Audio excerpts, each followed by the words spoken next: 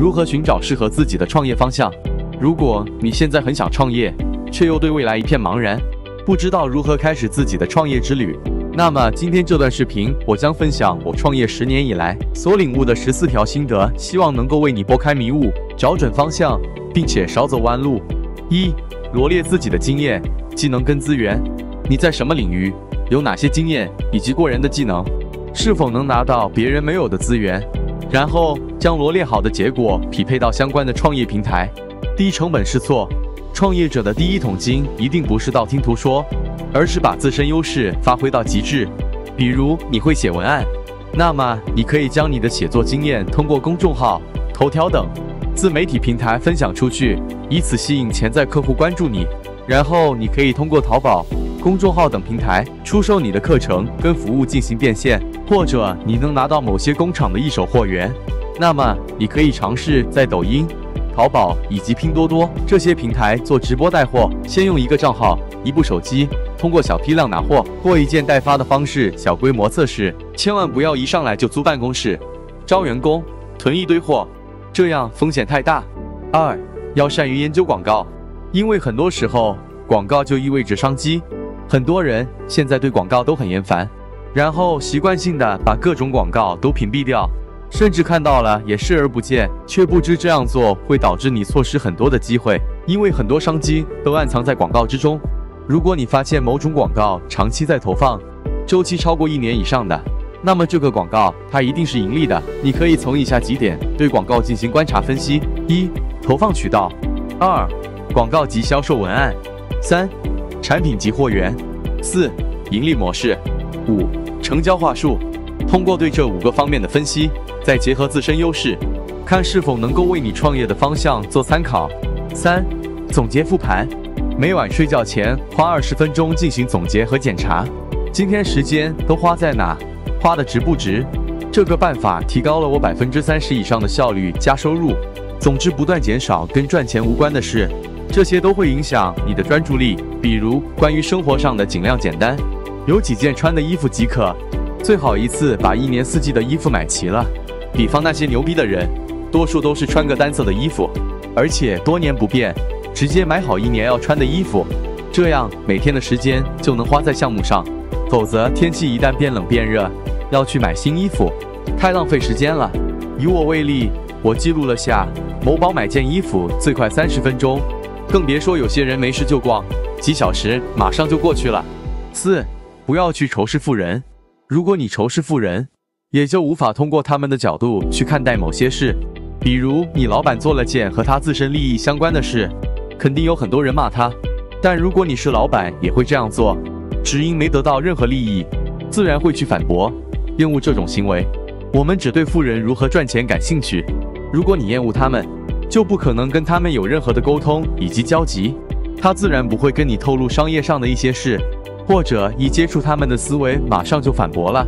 那你怎么赚钱呢？真有这个时间，不如想想如何赚钱才最实际。不管怎样，你也改变不了，但你可以研究别人怎么成为富人，你再往那条对的大方向走。总之，提高你的收入才是王道。五，学会借鉴成功者的经验。很多厉害的大佬把几十年的经历写成本自传或者传记，花不到一百块买过来，可以套用到你的项目上，或者学习他做项目，研究他为啥这样说做，学习吸收他的思维、做事的观点，吸收阅读释放价值，是件超值的投资。比如我把牛逼同行的文章采集，在某宝打印成 A4 纸，每天看。当你看完了这些内容。这个同行的干货，你最少能吸收百分之八十六。远离负能量的人，一旦有人跟你说有口饭吃就行了，别想着赚几百几千万。人嘛，别想着天天跟别人比，或者你混得比我好多了。当有人跟你说这种话的时候，一定要尽早远离他，躲得越远越好。通常赚不到钱的人才喜欢讲这些，或者说他喜欢用语言的艺术来迷惑你。人一旦有这种想法，是不可能赚到钱的。而且人永远是往高处走，本就是如此，要么就是他不行，以此安慰自己。七，创业的时候一定要大胆，只要不违法，就放心去干。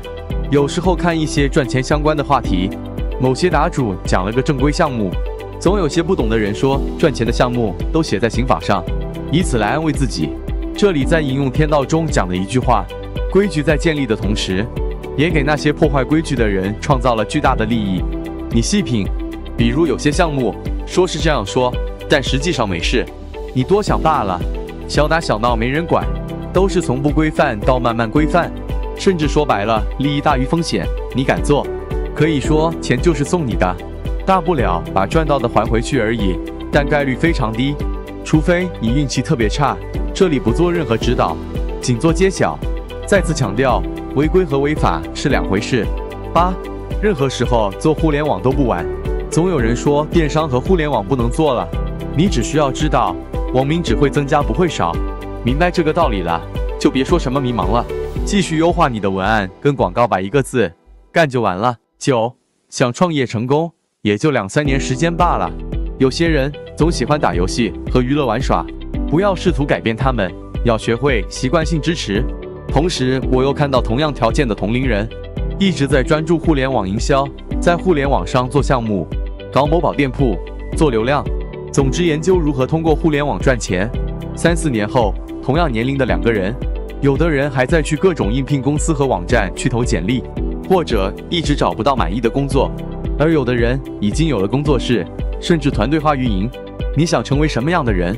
活着，要么看着别人发财，要么自己亲自尝试。即使最终失败，至少没有遗憾。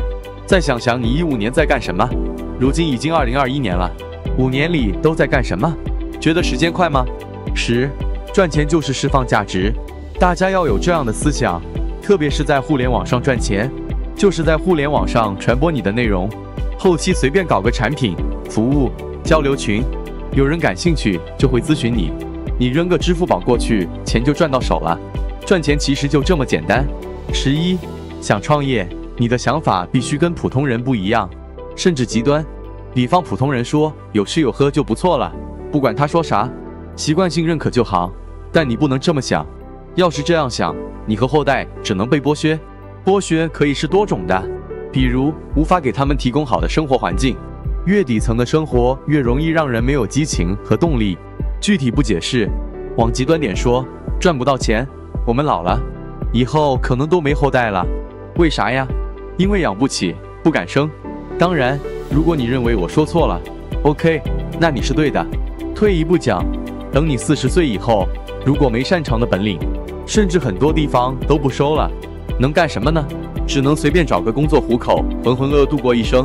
真正上层的人，肯定要用一些语言来迷惑你，说啥钱赚多赚少都一样了，还不是照样一日三餐？赚不到钱，对孩子的影响更严重，绝非我胡说八道。小孩只会复制大人，大人每天日赚四千，小孩天天看，也觉得日赚四千是小问题。大人日赚三百，小孩天天看，学会日赚三百，他们只会复制。人类本质就是复读机，复制的人牛逼，孩子就牛逼。换句话说，不要总想着以后孩子长大替你翻身，小概率事件，逼自己立起来才是大概率事件。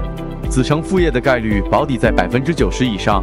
十二，男人必须赚钱牛逼，也是使命，不要怂，就是干，干得越狠就越牛逼。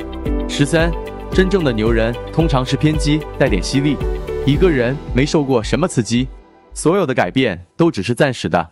十四，男人过了三十岁，有两件事尤为重要：第一，保养身体；第二，搞钱。上面说了这么多，最后总结一句话，那就是跟着有结果的学习就对了。